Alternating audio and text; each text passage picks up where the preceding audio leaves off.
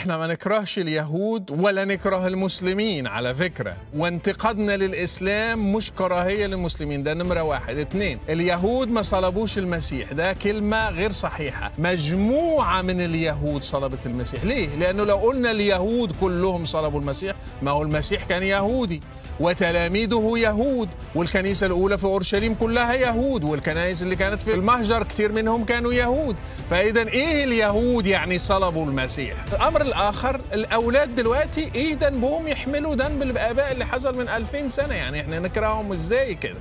وبعدين المسيح سامح الكل قال يا أبتاه اغفر لهم لأنهم لا يعلمون ماذا يفعلون. يعني إحنا انتهينا من موضوع الكراهية تجاه أي شريحة تجاه أي عنصر بشري.